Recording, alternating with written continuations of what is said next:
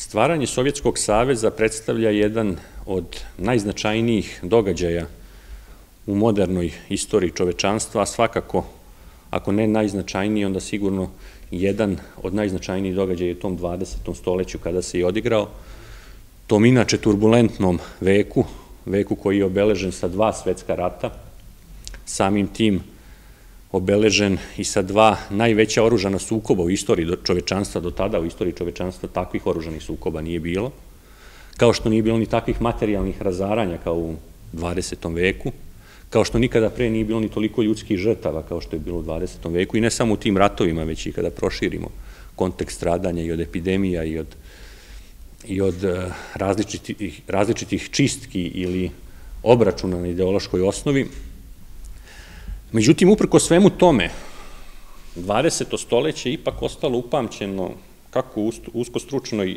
javnosti koja se bavi društvenim naukama, bilo istoriji, istoriografiji, bilo sociologiji, ostaće taj vek upamćen pre svega kao vek ideologija. Imam utisak da je tako i kod šire javnosti. Nekako pojava nacizma, fašizam, komunizam, ekspanzija tih ideologija, one su se preplitale, sukobljavale, to je obeležilo to 20. stoleće i onda, naravno, nikog ne treba da čudi što sam naglasio da je Sovjetski savez i stvaranje Sovjetskog saveza upravo jedan od najznačajnijih događaja u tom 20. veku. Ne mogu reći najznačajniji, ali svakako jedan od najznačajnijih događaja. Upravo stvaranjem Sovjetskog saveza nastala je prva komunistička država na svetu. Na sreću komunista i oni koji su želeli širenje te ideologije, želeli uspeh te ideologije, eto, nastala je ta država koja je bila jedna od najmoćnijih na svetu, upravo zbog toga što je formirana na zgarištu jedne moćne imperije pre toga, ruske carske imperije, koja je bila najveća zemlja na svetu, koja je bila jedna od najmnogoljudnijih zemalja na svetu i koja je imala nepresušne i neprocenjive ekonomske, a pre svega mislim resursne potencijale. Prve dve decenije postojanja tog Sovjetskog saveza obeležene su u stvari time da se stabilizuje vlast, da se stabilizuje ta nova komunistička ideologija u jednoj državi, da se saživi sa jednim državnim sistemom. I suštinski tada je Sovjetski savez bio bastion, čuvar komunizma u svetu. A nakon toga sledio je taj drugi svetski rat i tokom tog rata i nakon tog rata, e tada je iz tog bastiona komunizma i Sovjetskog saveza ta ideologija počela da se širi ne samo u Evropi, već gotovo na svim meridijanima sveta. Ostvarila je veći ili manji uticaj. To je postala jedna od dve najuticajnije ideologije, na čim temeljima je formiran jedan od dva najmoćnija bloka Druga polovina 20. veka, politička bloka, druga polovina 20. veka obeležena je sukobom e, demokratskih zemalja, kapitalističkih zemalja, tog zapadnog bloka, kako god hoćete, sa istočnim blokom koji je upravo bio predvođen Sovjetskim savezom, sa tim komunističkim zemljama. Raspad Sovjetskog saveza došao je kao posledica poraza u tom hladnom ratu koji je obeležio drugu polovinu 20. veka i posledice svega toga osjećamo i danas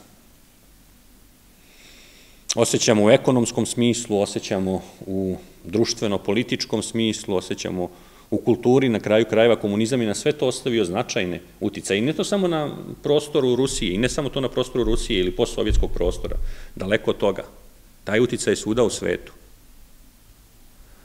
A možda po najviše se sada očetuje upravo po tim političkim previranjima na postsovjetskom prostoru i ovi događaji u Ukrajini. Ovaj rat u Ukrajini je u stvari neodvojivo povezan sa stvaranjem Sovjetskog saveza i crtanjem granica unutar tog Sovjetskog saveza, između ostalih i granica Ukrajine, koje su danas, kao što vidimo, sporne za Rusiju i negde sve ovo deluje, o čemu sam i ranije govorio, kao pokušaj da se isprave te greške iz prošlosti koje je Rusija činila i sadašnja politička elita kao da ispravlja negde greške iz prošlosti danas, greške koje su stvorene u Sovjetskom savezu.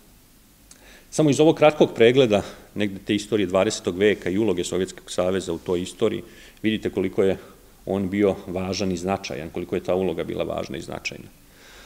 Ali jednu stvar uvek moram da istaknem. Velike događaje kreiraju i veliki značajni ljudi.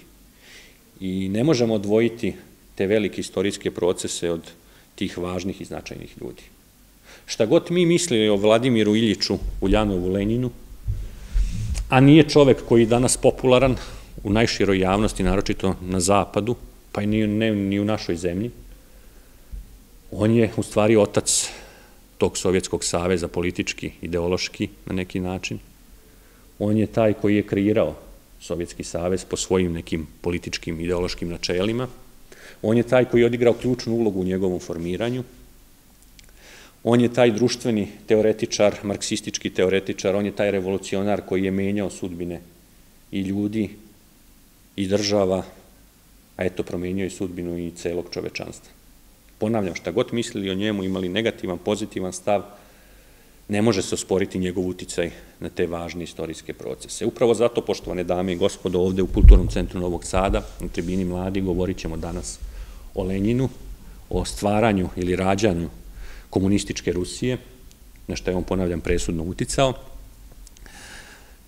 I bez obzira na to da li imate negativan ili pozitivan stav o njemu, a verujem da imate svi izgrađene stavove, mislim da je važno tim ličnostima razgovarati, tim važnim ličnostima koje su presudno uticale na tokove istorije, jer upravo iz njihovog rada, iz njihovog dela mogu se izvući neke značajne povuke. I može se prepoznati neki model kako bi možda danas mogli da se ponašamo ili kako bi danas mogli da izbegnemo neke zamke u kojima eventualno možemo da se, da se nađemo. U svakom slučaju, Vladimir Ilić Lenin je čovek o, kojima, o kome je pisano crnim slovima, i to onim najcrnijim, najtamnijim, najmračnijim, čovek koji je toliko hvaljen i uzdizan i čovek o kome dan danas postoji jedno podeljeno mišljenje. Ponavljam, kod nas u toj zapadnoj političkoj hemisferi on je definitivno jedna negativna ličnost, ali ne opet negativna ličnost kao na primer Stalin, imam utisak da kada pitate zapadnjake da će oni uvek reći da je Stalin mnogo gori od Lenina. Možemo razgovarati zašto je to tako, ako ne na ovoj, onda na nekoj sledećih tribina, ali u svakom slučaju ima i zemalja u kojima taj narativ o Staljinu i nije tako crn. Ali, naravno, ja ću ovde pokušati da iznesem činjenice pre svega o njegovom životu i njegovom delu, a na kraju krajeva vi ćete sami prosuditi da li ćete korigovati svoje stavove za koje sam već rekao da verujem da ih imate ili nećete, zavisno od tih nekih novih činjenica koje ćete možda čuti ili saznati. U svakom slučaju, kada govorimo o biografijama ljudi, uvek je najbolje krenuti od porodice, krenuti negde od početka, jer tu negde u porodicama se formiraju karakteri ljudi. Ono što je zanimljivo na samom početku da kažemo da je Lenin rođen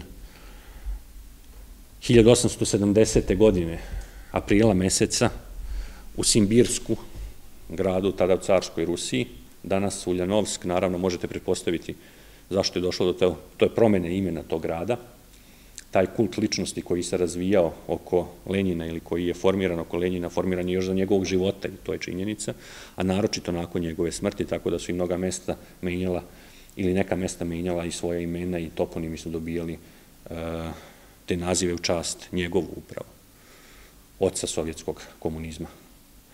I taj nadimak Lenin, eto je na samom početku da i to kažem, on je jedan od ljudi koji negde to potpunost nije razjasnio kako je dobio ili kako, zašto je uzeo taj pseudonim? Lenina, činjenica je da su svi ti komunistički lideri ili aktivisti uzimali ta lažna imena, pre svega zbog toga da bi se zaštitili, zbog konspirativnog rada, jer su bili na udaru, naravno, tajnih službi, policija, organa bezbednosti, pa tako i on je uzeo taj nadimak Lenin, dok kod Staljina je jasno zašto je uzeo taj nadimak Staljin, ili kod Trockog se jasno zna zašto je uzeo taj nadimak, kod Lenjina se ne zna, pretpostavlja se da je po reci Leni u Sibiru.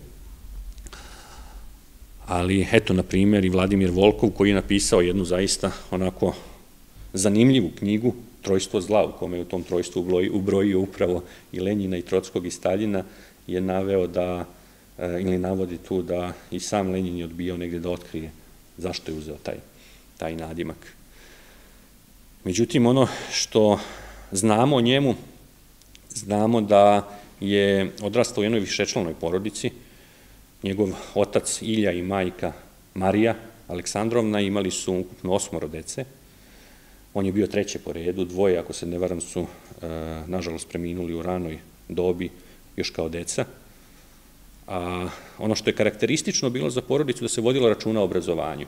I tu odmah da razjasnimo neke stvari. On nije poticao iz porodice koja je bila na margini ruskog društva, kako bi se često mislilo, zbog toga što su tim levo radikalnim ideologijama uglavnom gravitirali ljudi sa margine društva ili najsiromašniji slojevi.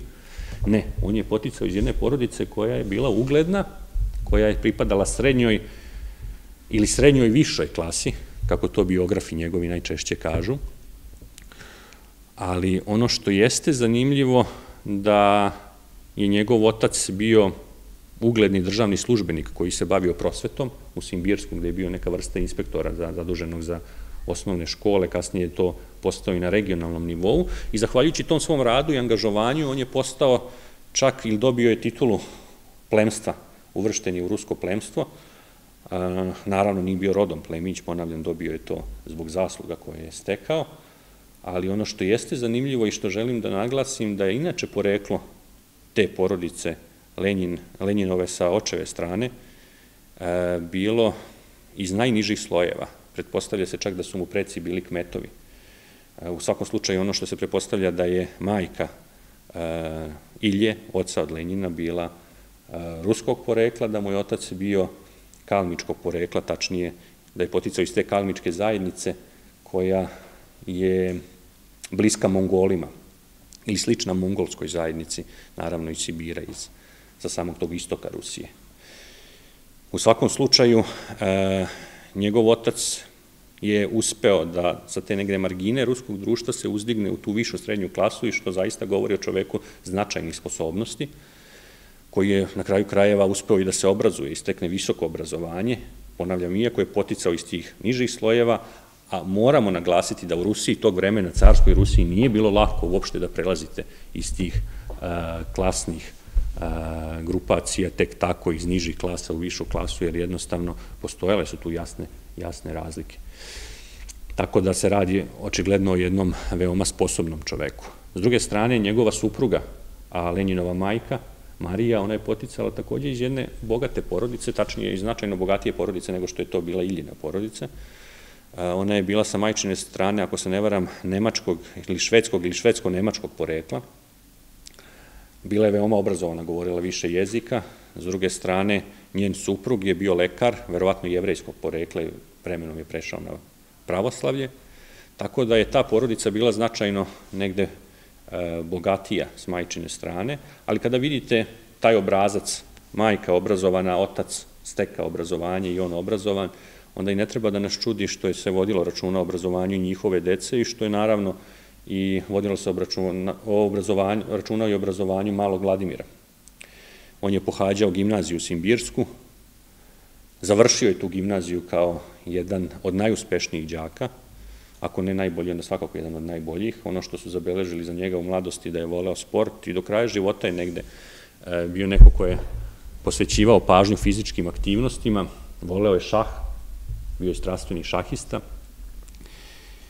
I ono što je takođe zanimljivo, nije bio neko ko je preterano e,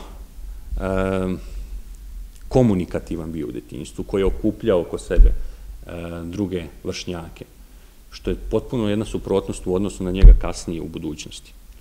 Ali treba reći da se negde i njegov život e, menja upravo na tom prelazu iz srednje škole i uh, u vreme kad prelazi na fakultet, upisat će fakultet u Kazanju. I mnogi od njegovih biografa upravo ukazuju na to da je to prelomni period u njegovom životu.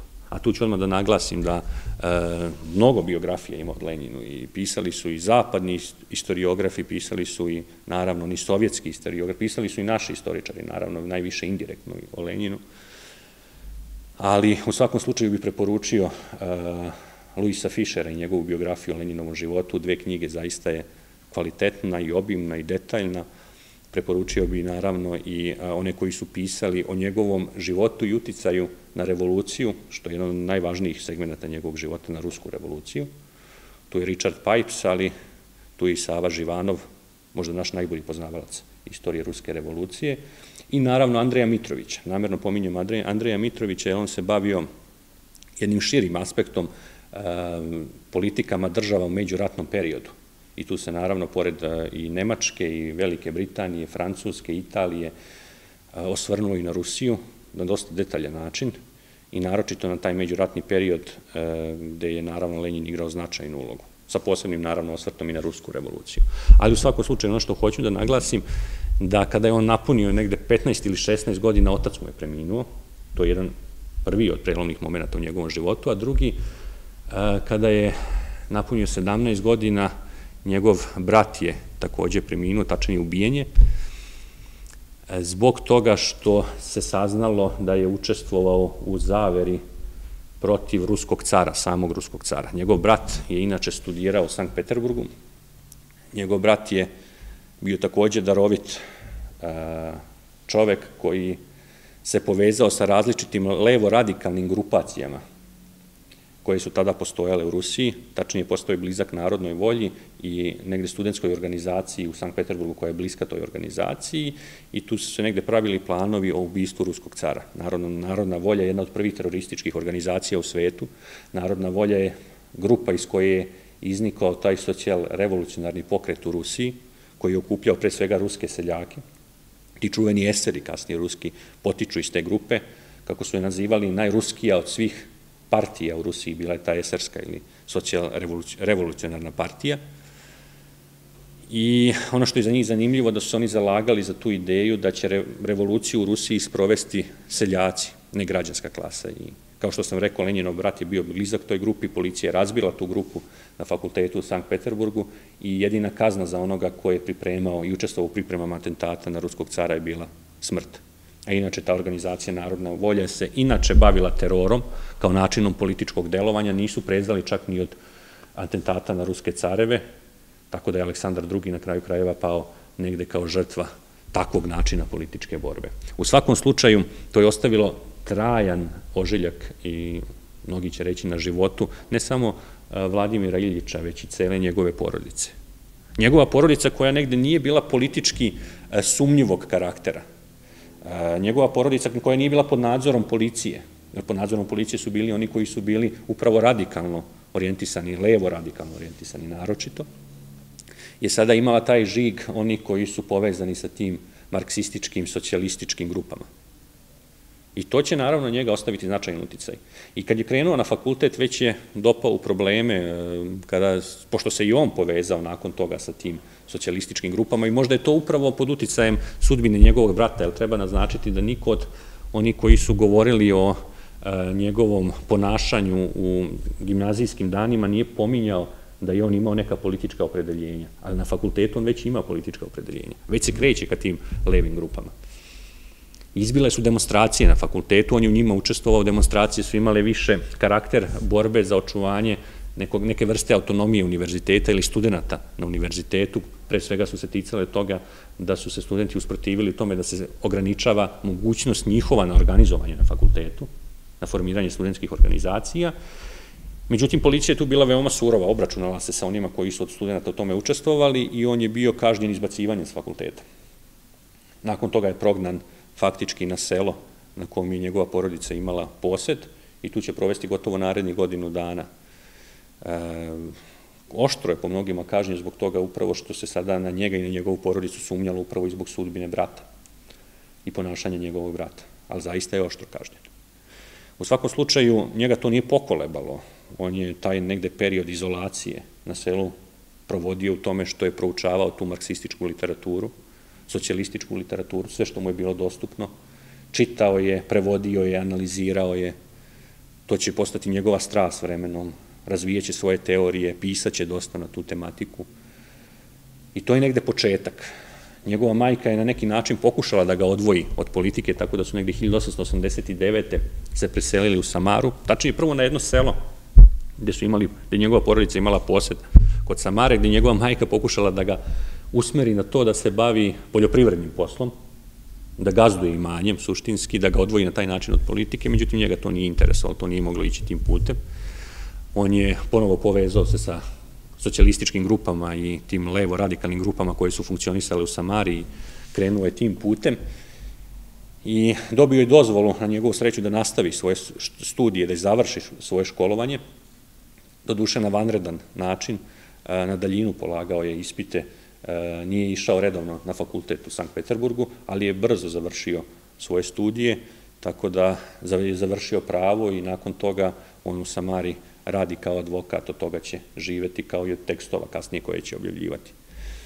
Provešće gotovo četiri godine u Samari i od 1893. godine on odlazi u Sankt Peterburg, što je naravno jedan od tih prelomnih momenta u njegovom životu, već odlazi tu kao negde čovek izgrađenih socijalističkih načela, komunističkih načela, kao čovek koji je već i pisao o toj tematici ne samo čitao, koji ima svoje stavove, svoje razmišljanja i tu se naravno uključuju te levo-radikalne krugove, marksističke krugove.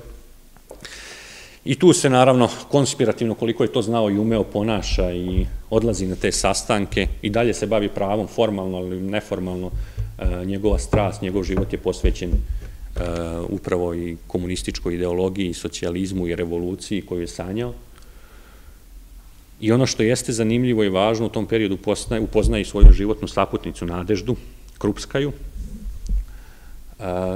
ženu koja je takođe pripadala tim krugovima političkim kojima je i on pripadao, što jeste zanimljivo samo po sebi. Ona će postati njegova životna saputnica, ona će postati neko ko će ga do kraja života pratiti, verno, koja mu neće biti samo supruga, već će negde, po mišljenju mnogih, biti i njegov lični sekretar, njegov najbliži saradnik.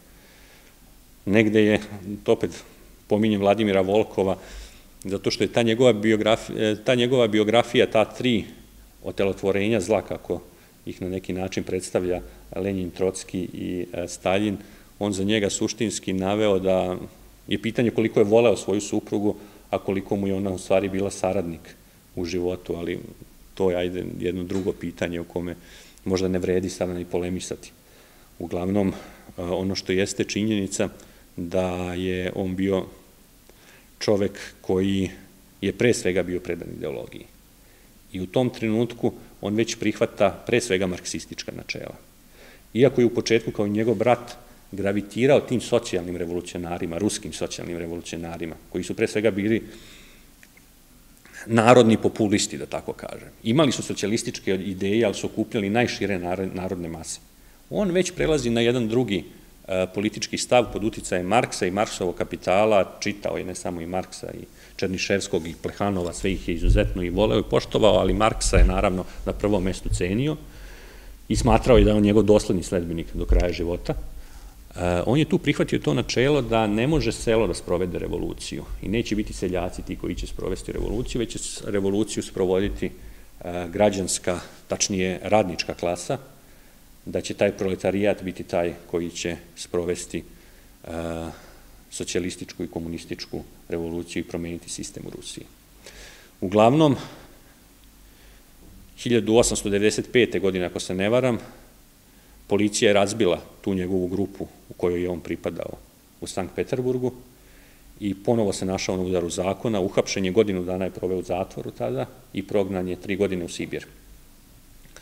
Tada je odlučio da se venča sa Nadeždom, jer je to bio jedini način da zajedno provode vreme, pošto je ona uskoro e, takođe bila uhapšena i prognana u Sibir, samo dva odvojena mesta su prognani, a jedino kao bračni par su imali pravo da budu zajedno. Nisu se nikad venčali, pošto su bili komunisti, a u Rusiji se venčanje i taj obred vrši u crkvi, za njih je to bilo naravno neprihvatljivo, pošto su bili ateisti, ali ovaj put su morali to da urade, venčali su se u crkvi i otišli su zajedno u progonstvo u jedno selo u Sibiru.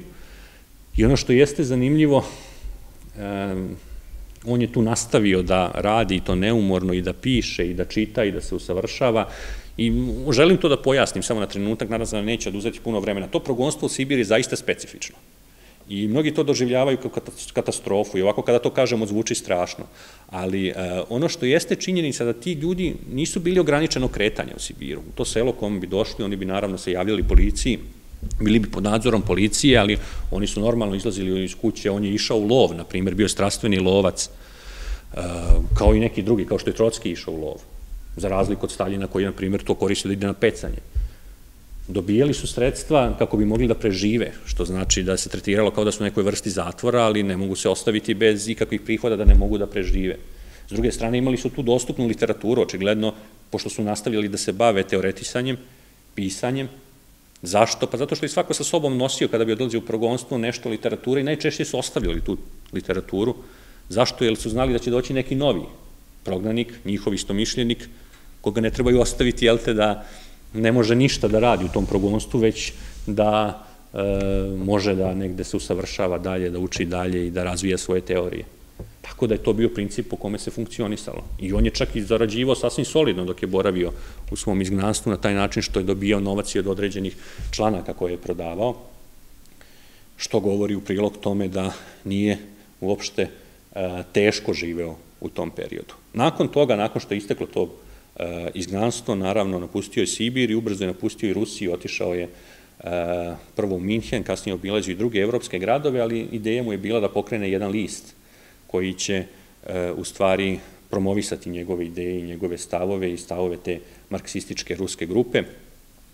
I uspeo je u tome, pokrenuo je list Iskra, za koji neki kažu da je bio veoma uspešan, neki kažu da uopšte nije bio toliko uspešan, ali ono što jeste suština da je on pre svega bio namenjen tom užem krugu čitalaca i u Rusiju se morao krijumčariti, pošto je tamo bio zabranjen, tako da je to o njegovom uticaju se zaista može polemisati, ali to jeste bio jedan od njegovih snova da pokrene taj list, uspeo je u tome sa svojim prijateljima, sa svojim saradnicima, a ono što je važno da naglasimo, to je takođe bio jedan od važnih momenta u jačanju njegovog uticaja u tom marksističkom krugu, ruskom marksističkom krugu.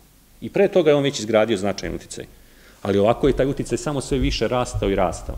I to vidimo naročito 1903. Eh, godine, kada dolazi do raskola u ruskoj E, socijaldemokratskoj radničkoj partiji kojoj je pripada upravo i, i Lenin. Taj raskol je došao kao posledica ilaženja u načinu funkcionisanja stranke. Jednu grupu, jedno mišljenje je predvodio Lenin, drugo su predvodili pre svih uh, Julije Martova, da njega izvojimo, kao njegov oponent. Lenin je već tada shvatio da je jedno od najvećih problema političkog organizovanja, kada su u pitanju stranke, frakcionaštvo. Od toga su bolovale ne samo uh, levičarske partije, već gotovo sve partije. Stvarale bi se frakcije, svađe, odvajanje, cepanje stranaka. Lenin je postao zagovornik čvrste partijske organizacije. S druge strane, Martov i drugi su zauzeli stav da ne može se ograničavati stav i razmišljanje pojedinca, da svako ima pravo da iznese svoj stav, da ga zastupa. Lenin nije bio protivnik toga. Može svako da iznese svoj stav. Ali, na kraju se o određenom pitanju moraju svi izjasniti, ceo centralni komitet. A onaj ko dobije većinu, ono mišljenje koje dobije većinu, e, to je važeće mišljenje. I svi to mišljenje moraju da slede kasnije, bespogovorno. S čim se drugi baš nisu slagali i tu je došlo do tog sukoba, razmimo ilaženja. Lenin je tada pobedio unutar partije u toj borbi. Zato i to, taj naziv njegove frakcije, kasnije boljševici, većina od te reči, boljševici kao i menševici, to su oni koji su ostali manjina u tom sukobu. To su u početku bile dve frakcije te Ruske socijaldemokratske radničke partije, kasnije će se one potpuno razići, mada pre svega na tim najvišem nivou će se potpunosti razići, kada su u pitanju ti lokalni odbori, oni su negde ostali jedinstveni čak i u vreme revolucije. Čak i tada su negde zajedno funkcionisali samo kao dve odvojene frakcije. U svakom slučaju to nam govori o tome koliko je njegov uticaj već tada bio jak. On je jedan od najistaknutijih predstavnika te ruske marksističke grupacije. U svakom slučaju, uh, ono što je činjenica, dalje se on u životu najviše bavio obračunavanjem sa menševicima, uh, nije učestvovao uopšte u revoluciji 905. koja je izbila u Rusiji nakon krvave nedelje, uh, jer nije bio uopšte u Rusiji, bio u inostranstvu. Pozvao je naravno bolševike da se priključe tome, ali bio mišljenje da to inako nema nekog izgleda na uspeh, i bio je tu u pravu, dobro je procenio da će te građanske strukture i liberalno plemstvo koji su podržali revoluciju, onda kada car ponudi neke ustupke, odmah to beručke prihvatiti, a da će onda taj običan narod, ti levičari, taj proletarijat koji je vodio tu revoluciju, ostati sam, izolovan i da će cela revolucija biti ugušena. Upravo se to i desilo. Jedino što je bila posledica te revolucije da je došlo do određene liberalizacije političkog života. E, to je činjenica i to je omogućilo Leninu da se nakratko vrati u Rusiju, tako da je on do 907. ponovo boravio u svojoj domovini, ponovo je politički aktivan. E, eto, ne bih da zaboravim da kažem i taj jedan segment zanimljivosti iz njegovog života, da kada je u pitanju finansiranje političke partije, kao i danas to je i onda bio veliki problem. On tu nije prezao čak to, od toga da se princip pljačke koristi kao sredstvo za finansiranje partije, pa čak pljačkanje banaka, pljačkanje nekih institucija koje imaju značajna finansijska sredstva, po njegovom mišljenju je bilo potpuno legitimno ako će se time obezbediti finansiranje političkog života njegove stranke. Bilo je tu partije, oni koji su bili protiv toga i takvog stava, bilo je oni koji su bili za, na primjer Stalin je podržavao takve njegove stavove, ali ono što je u svakom slučaju činjenica i to izazvalo određene kontroverze u okviru njegove političke grupacije. 907. pod uticajem policije ili strahu od policije ponovo napušta Rusiju i faktički do Prvog svetskog rata on će biti u inostranstvu. Izbijanje Prvog svetskog rata zateklo ga je u Austro-Ugrskoj, pošto je bio ruski državljan i naravno bio je uhapšen, zatim pušten i poslat u Švajcarsku koja je bila neutralna i tu je on faktički pratio razvoj situacije, nekad pesimističan, nekad optimističan prema dešavanjima, znao je da je revolucija jedino moguće u takvim uslovima ili najostvarljivije u takvim uslovima rata, kada će sve što je negativno u jednoj zemlji, sve što tišti jedan narod biti pojačano i ekonomija i ekonomska kriza i politička situacija će biti zategnuta i to je najpogodnije za revoluciju, ali e, on je bio van svih tih dešavanja, on je u tom vreme u Švajcarskoj jednostavno nije mogao da utiče na tokove unutar zemlje. I negde kada se 917. E, desila ta čuvena februarska revolucija o kojoj sam ja govorio već ovde u Kulturnom centru Novog Sada i ukoliko želite detaljnije da čujete o tome možete da pogledate na YouTube kanalu Kulturnog centra Novog Sada tu tribinu i neću se ponavljati, neću puno zadržavati na tome, važno i za ovu priču. Kada je saznao za tu revoluciju, on je naravno brže bolje želeo da se vrati u Rusiju, jer je shvatio da su se stvorile okolnosti, da se stvorila prilika da on ostvari svoje političke ciljeve i taj san o revoluciji i uspostavljanju komunističke vlasti da konačno bude ostvaren. E, to je važno da naglasimo. E sada, tu je dopao taj problem što se postavilo pitanje kako da dođe u Rusiju.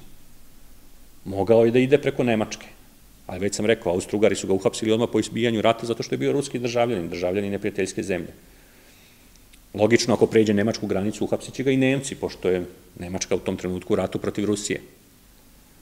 Međutim, tu se dešava i jedan od tih najkontroverznijih delova njegovog života, o čemu su mnogi i pisali i govorili, to je taj čuveni zapečaćeni voz kojim on sa svojim saradnicima iz Švajcarske preko cele nemačke teritorije biva prebačen do Danske, iz Danske odlazi u Švedsku i Švedske u Finsku, Finska je naravno u sastavu Ruske carevine, spušta se sa severa Finske do Helsinki, a zatim vozom odlazi u Sankt Peterburg, vraća se u zemlju. Kako? Veoma jednostavno. Iako je bio ruski državljan i Nemci su odlučili da ga propuste. Nisu ga hapsili. Zašto ga nisu hapsili? Iz jednog jednostavnog razloga, oni su znali da on ne ide tamo da pomogne ruske napore, ratne, protiv Nemačke, već ide da izazove haos. Ide da izazove revoluciju.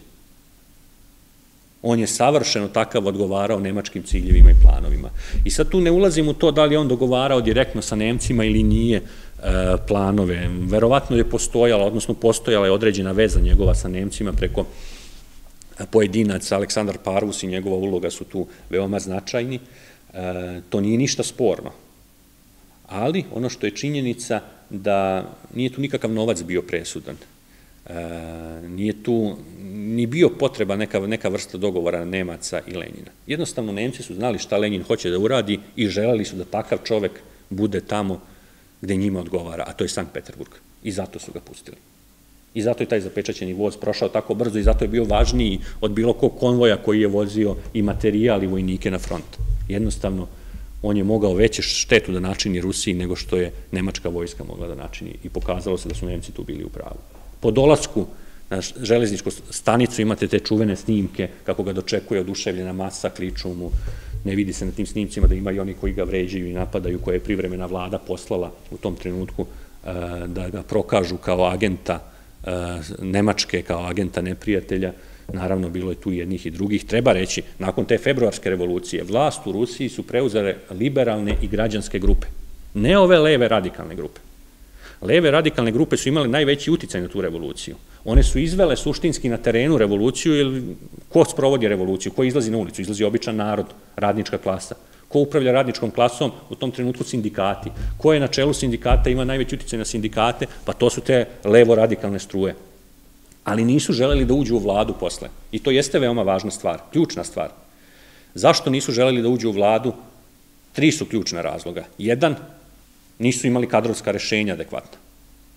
Njihovo voćstvo je bilo ili u Sibiru u izgnanstvu, ili kao Lenin u inostranstvu, proterano, ili su bili po zatvorima, ili su bili na frontu.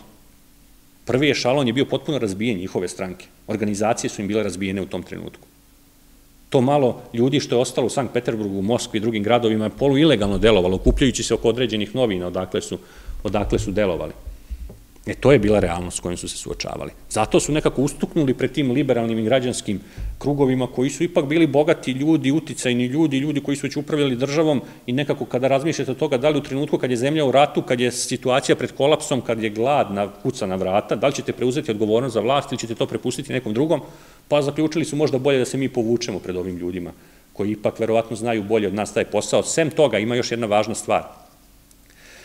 To je i ideološki e, okvir, teorijski okvir po kome su oni zauzeli stav da nije vreme za revoluciju. Oni su se čvrsto držali tog narativa marksističkog da postoji određeni princip kako dolazi do revolucije. Određena postupnost. Prvo mora doći do te buržoaske građanske revolucije. Da se stvori prvo demokratsko kapitalističko društvo, kao u Francuskoj, krajem 18. veka što se desilo, a onda decenije treba da prođu pa da tako kapitalističko društvo stvori brojnu radničku klasu. A tek onda ta radnička klasa, tako stvorena, može da sprovede socijalističku revoluciju. A te 1917. u februaru, po starom kalendaru, formirana je tek, e, ili izvedena je tek građanska revolucija u Rusiji. Što znači da su ti marksistički ili levičarski, socijalistički krugovi u Rusiji, ti teoretičari smatrali po ovoj tek početak. Naš zadatak je da podržimo ove buržovske elite, da oni sprovedu tu revoluciju do kraja, da uspostave kapitalizam, pa ćemo za 10, 20, 30, 50 godina, možda nećemo to ni mi, nego naši naslednici, sprovesti socijalističku revoluciju. To je veoma važan princip koji nikako, nikako ne može da se e, poceni, koji je na njih i tekako i tekako uticao. Pored kadrovskih rešenja i taj, i taj ideološki princip. I to kada uzmete u obzir, onda shvatate zašto su oni prepustili vlast, iako su realno u gradu oni imali moć, držali su gotovo sve institucije preko sindikata, ali su prepuštali vlast privremenoj vladi koju je vodila ta građanska struktura. E sada, Lenin kada dolazi, on nastupa potpuno drugačije. On iznosi svoje aprilske teze u kojima otvoreno izlazi pred celokupnu rusku javnost i kaže nama je neophodan mir s Nemcima pod svaku cenu i nama je neophodna podela zemlje seljacima. To su dva goruća problema u Rusiji. Kako doći do mira? Milioni ljudi su već stradali, ljudima je bilo rata preko glave, međutim, nova vlada nije želela da prekine rat, jer je znala da će to biti pod preskupu cenu, Nemci ne bi tek tako prihvatili da se Rusija povuče iz rata, neokrenjena. A što se tiče zemlje, privremena vlada, iako je obećala da će rešiti agrarno pitanje, nije rešila agrarno pitanje, jer je to ostavila da se reši nakon rata. Znala je ako uđe u problematiku rešavanja agrarnog pitanja, da će to ko zna kuda odvesti zemlju, u ko zna kakve nove sukobe, i zato su to ostavili nakon rata da se rešava. Kao i mnoga druga koruća pitanja, ustavotvorna skupština i to je ostavljeno za kasnije. Sad shvatate zašto je u Rusiji e, sudbina te privremene vlade zaista bila e, ne neizvesna, nego se znalo da neće imati neki značajnije uspehe. Oni jednostavno goruća pitanja nisu rešavali. Preuzeli su vlast, obećali su da će nešto sprovesti u delo, a to nisu mogli da sprovedu u delo. A Lenin kada je došao, nastupao je sa tih stanovišta veoma oštro, da se to mora sprovesti u delo i otvoreno je kritikovao tu vladu. Za razliku od ostalih u Petrogradskom sovjetu, tih socijalističkih grupa, koje su sve bile brojnije od bolševika. I menševici su bili brojniji, i eseri su bili brojniji, ali nisu kritikovali tu vladu, smatrajući, ako mi napadnemo vladu, ako budemo tražili mesta u toj vladi, Pa na kraju će se svi oni što su sada se učutali, a to su one e, carističke snage, to su ove snage u vladi, liberalno plemstvo, građanstvo, pa svi će se okrenuti protiv nas i e, desit će se 905. godina. Ostaćemo usamljeni i bit ćemo uništeni. Za Lenina tu nije bilo dileme. Borba mora da se nastavi pod svaku cenu i revolucija mora biti sprovedena.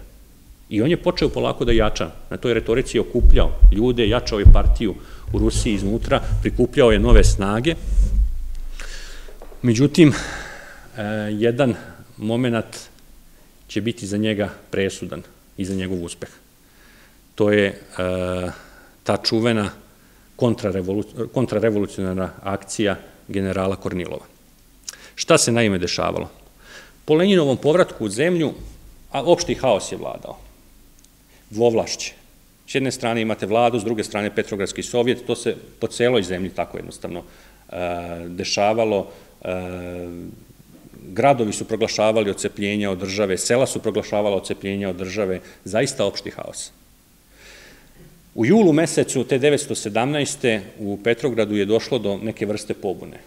Pre svega mornari u Kronštatu, koje je bilo revolucionarno jezgro, nisu teli na front, pa su izašli na ulice, pozvali bolševike da im se pridruže, mase ljudi su izašle da ih podrže i sad su oni došli pred Petrogradski sovjet i tražili da sovjet preuzme vlast i da se reši privremena vlada.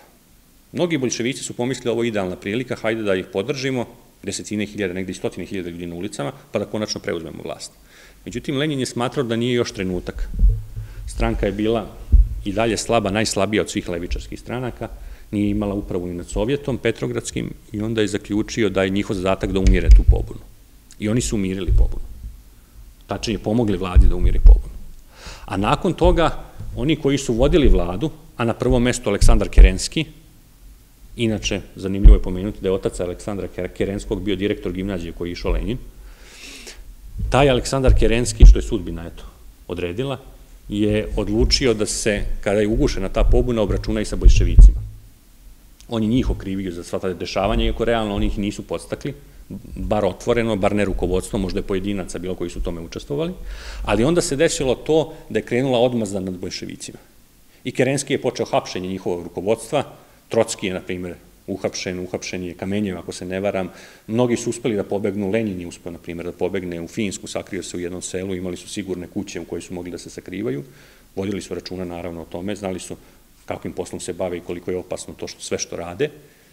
I u tom trenutku zabranjena su njihova glasila i nakon tog jula 1917. delovalo je da će oni potpuno zamreti kao politička organizacija ili da će stagnirati tu da jesu. I Kerenski je zaista bio apsolutni pobednik. On kao neko ko je blizak socijalnim revolucionarima sada je bio zaista na vrhuncu svoje moći. Politička scena se potpuno promenila u jednom trenutku. Uh, oni koji su bili umereni, to su ti građanske snage, oni su potpuno pomerene u desno, one su se približile caristima. Ove stranke koje su bile na levoj strani, kao što su eseri i menševici, oni su postali centar političkog spektra Rusije tog vremena. Eseri toliko popularni da su imali milionsko članstvo, a taj levi spektar su sada zauzimali samo bolševici. I onda dolazi do tog ključnog momenta gde sudbina odigra e, presudnu ulogu, jednostavno nezadovoljni situacijom u zemlji, vojni krugovi su smatrali da je došlo vreme za diktaturu, vojnu diktaturu, da se zavede konačno red u zemlji i da se sa frontom, e, sa borbom na frontu konačno uspešno završi. Jer su smatrali jednostavno da se porazi koji se trpe na frontu dešavaju usled apsolutno haosa u zemlji. To je bio stav većine oficira, to je bio stav carističkih snaga, mnogih sada već i građanskih snaga koji su želeli da se umire ta revolucija, da ne ide to dalje u radikalizaciju i general Kornilov, komadant vojske je odlučio da preuzme stvar u svoje ruke. Poslao je poruku Kerenskom da mu preda vlast da će on preuzeti vlast nad vladom, a ponudio mu da bude, ako hoće, ministar odbrane u toj vladi. To je jedan jako nespretan potez, složit ćete se svi, jer ako želite da izvršite vojni udar, a da obavestite predsednika vlade o tome, to uopšte nije pametno. Pogotovo ne da mu još ponudite da bude ministar vojske u vašoj vladi koji ćete vi faktički preuzeti, što govori o tome da Kerenski nije baš, da Kornilov nije baš imao političkog takta, bio je hrabar, nesporno izuzetno hrabar oficir, ali bez osjećaja za politiku i naravno Kerenski je brže bolje reagovao na to počeši da okuplja oko sebe sve raspoložive snage. E, Kornilovo je poručio da je on smenjen i da se hitno javi u prestonicu da položi raport. Naravno, Kornilov je na to odgovorio na taj način što je mobilisao trupe i krenuo sa trupama na Sankt Peterburg i delovalo je da je kraj revolucije veoma blizu, a Kerenski uradio jedino što je mogao. Pozvao je sad bolševike, pustio ih iz zatvora i pozvao ih da se svi zajedno objedine u borbi protiv kontrarevolucije. E sad, u momentu se potpuno okrenula situacija. Oni koji nisu imali oružje, koji su bili u zatvorima, koji su bili marginalizovani, sada dobijaju oružje i polako preuzimaju ključnu ulogu u dešavanjima u zemlji. Oni su ti koji organizuju odbranu, oni drže govore, Trocki tu prednjači među svima, e, formiraju se te grupe koje se ubacuju među vojnike Kornilova, koji dolaze prema Sankt Peterburgu kako bi razbijale njihovo jedinstvo iznutra, oni agituju, naročito ti iskusni komesari među običnim vojnicima da ne treba se boriti protiv svojih, e, svoje braće u Sankt Peterburgu, da to nema nikakvog razloga za to, e, da ne treba prolivati krv e, bez ikakvog osnova zbog nekih oficira ili zbog tih viših klasa. S druge strane, menjševici koji kontrolišu železnicu, oni pod raznim izgovorima e, izbegavaju da prebace te trupe prema Sankt Peterburgu, to se odlači u nedogled prebacivanje tih trupa, daje se komesarima sve više šanse da razbiju jedinstvo vojske iznutra. I faktički dok su oni došli do Sankt Peterburga, pa niko više nije bio raspoložen za taj rat.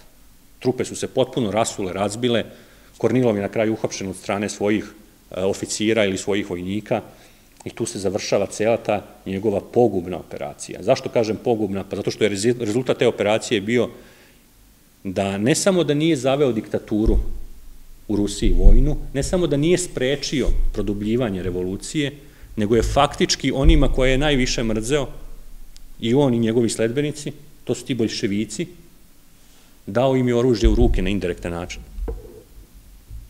I njihova popularnost je tu dramatično skočila.